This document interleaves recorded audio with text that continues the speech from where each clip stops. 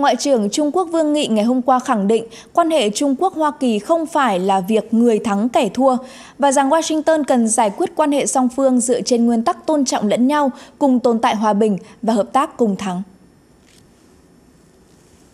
Ngoại trưởng Vương Nghị cho rằng đang có nhiều sai lầm trong quan điểm của Hoa Kỳ về thế giới, về Trung Quốc và quan hệ song phương. Ông khẳng định mục tiêu của Bắc Kinh là khiến cuộc sống của người dân trở nên tốt hơn, cũng như đóng góp lớn hơn cho thế giới, chứ không nhằm thay thế hay thách thức bất kỳ quốc gia nào.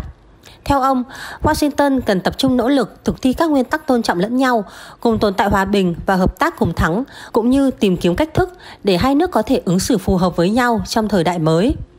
Phát biểu của Ngoại trưởng Trung Quốc được đưa ra sau khi Ngoại trưởng Hoa Kỳ Antony Blinken trong bài phát biểu tại Đại học George Washington đã nhận định Bắc Kinh là thách thức dài hạn nghiêm trọng nhất với trật tự thế giới. Theo đó, cách tiếp cận của Washington là đầu tư liên kết cạnh tranh, đồng thời đề cập quan điểm cùng tồn tại và hợp tác trong quan hệ Hoa Kỳ-Trung Quốc.